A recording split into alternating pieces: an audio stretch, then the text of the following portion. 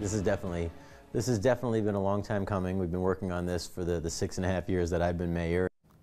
A big move tonight that will change the landscape in downtown Lansing. City Council has approved a plan to sell City Hall. A developer has agreed to buy the 66 year old building for nearly $2.8 million and turn it into a hotel. Good evening. I'm Ann Emmerich. The sale allows the city to build a brand new City Hall just two blocks away. News 10's Jordan Burrell was at tonight's meeting. She joins us live in the newsroom to tell us what happens next. Hi, and now construction can begin on the city-owned parking lot that will be City Hall's new home. Although Mayor Schor says the final plans for construction have yet to be finalized, the plan is to be moving out of Lansing City Hall within the next year or two. It's time. This is the next step, right?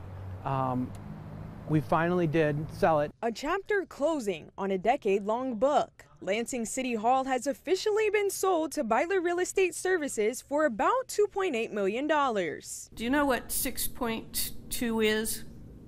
That's the number of days of city operating budget that is covered by $2.78 million. So you're telling the taxpayers that for less than a week of operating expenses, you're going to sell their building. Loretta Stanaway doesn't agree with the price tag put on the nearly 70 year old building, saying in a past meeting that where City Hall sits now is the best piece of property in the city, maybe even the state. So we are going to sell the building for exactly what it's worth, uh, no less, no more, and it's going to be taken over. You know, millions of dollars are going to be put in to rehabilitate this building, to have asbestos removed, to, um, to fix many of the problems that we have.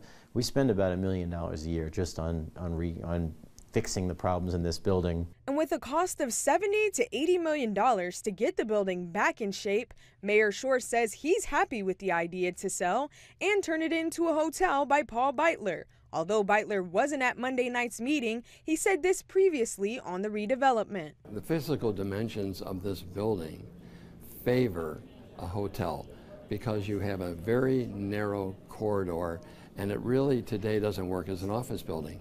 And for Councilmember Kost, it took some convincing to support the sale, but now he says he can see bright possibilities downtown by getting rid of a surface parking lot, revitalizing the Masonic Temple, and now the redevelopment of City Hall into a hotel.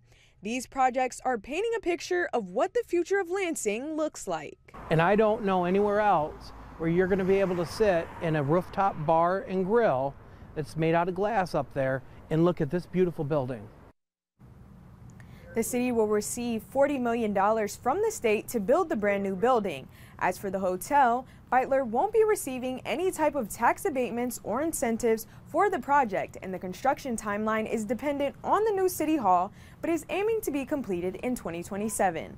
Live in the newsroom, I'm Jordan Burrell, News 10. Thank you, Jordan. Skies clearing out as we head into the overnight hours. Here's a live look from our sky cam over downtown Jackson. Andy Provenzano's in our weather center to tell us how cold it will get while we sleep tonight. Hi, Andy. Hi, and uh, everything's going to go to the low 60s, so you probably could have the windows open, but the humidity is a little higher. Going to get a little fog out of it, too. What's left of the rain?